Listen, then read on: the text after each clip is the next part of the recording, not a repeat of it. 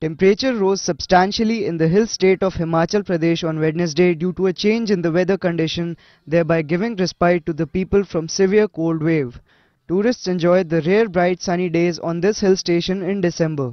हमें उम्मीद थी कि स्नोफॉल होगी काफ़ी और उम्मीद थी बट टेम्परेचर थोड़ा राइज हुआ है धूप है इसलिए स्वेटर भी उतार दिया हमने बट फिर भी माहौल अच्छा है सो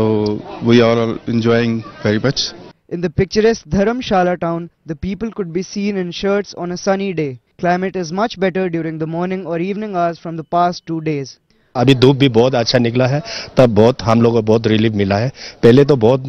दो दिन पहले तो बहुत ठंड ज़्यादा था From various